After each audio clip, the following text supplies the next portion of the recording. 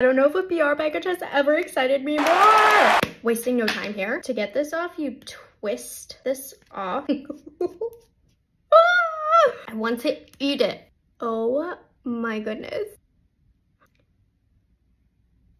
This one looks like it's gonna be pretty. It's quite juicy. I'm obsessed with these. So bouncy. I love that they look different.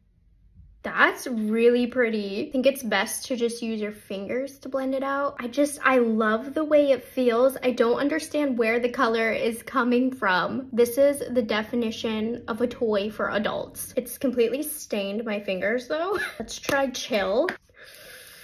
That's jello right there. It got a little patchy here, but I think that's just because I'm packing on too much of it because I cannot stop. I just want more. More! These are the coolest products ever.